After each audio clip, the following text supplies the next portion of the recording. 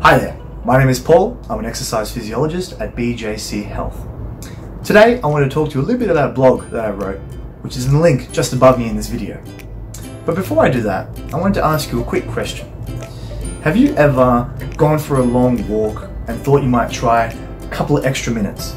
Or perhaps you're in the garden and you really wanted to plant those roses, but you just went a little bit too long in the garden? And then the very next day, you felt a bit of tightness, a bit of soreness. Well, I'm here to talk to you about that pain and discomfort you might have felt after you went for that long walk or spent a little bit too long in the garden.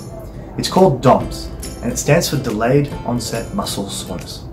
If you're a regular gym goer, you know what I'm talking about. But if you don't go to the gym and still experience this discomfort, I'm here to tell you it's okay. All it means is that your body worked a little bit too hard and your body has to then sort of adapt and get stronger for the next time you do that same activity. So the next time you're in the garden, try and do a little bit more. Maybe try and walk up and down those stairs along your walk.